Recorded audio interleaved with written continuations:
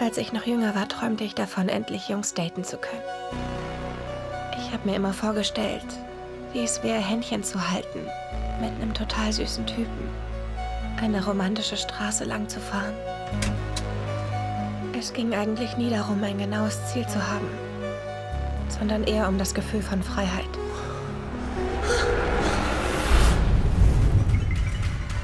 Jay, bist du wach? Was hast du vor? Du wirst mir das nicht glauben. Aber du musst dir merken, was ich dir jetzt sage.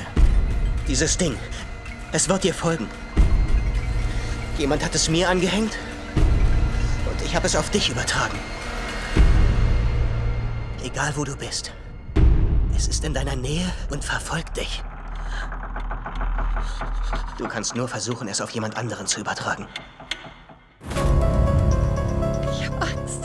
Ich muss ihn unbedingt finden. Was hat er dir wirklich angetan?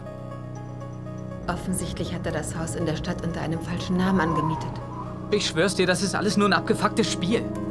Wenn es sie tötet, holt es mich und geht dann zurück bis zu dem, der es entfesselt hat. Was genau soll das sein, was dich verfolgt? Keine Ahnung. Es ist etwas passiert. Aber nicht das, was sie denkt, okay? Du glaubst mir nicht. Mom? Nein, ich bin's. Seht ihr, es ist alles okay. Es kann aussehen wie jemand, den du kennst. Oder wie ein Fremder. Alles, was ihm hilft, um an dich ranzukommen.